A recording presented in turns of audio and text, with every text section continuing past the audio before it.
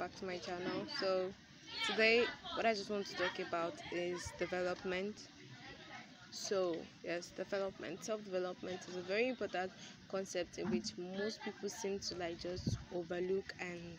just feel crap about themselves think cramp about themselves say cramp about themselves and behave and behave cramp even within themselves. I just want you guys to let you know that self-development is possible self-development is achievable but the first rule of self-development is firstly accepting yourself just the way you are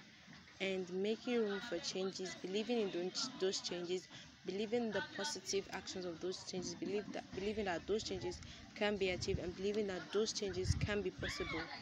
Before you start taking those changes like if you want to lose weight if you want to lose weight if you want to grow more uh, if you want to improve in your skincare firstly if you want to change just anything in your body and there is work that can be done to change that the first thing you have to do is just to accept yourself just the way you are love yourself in the in the in the or whatever condition you are. That is what's going to make way for you to become a better you and to be fully developed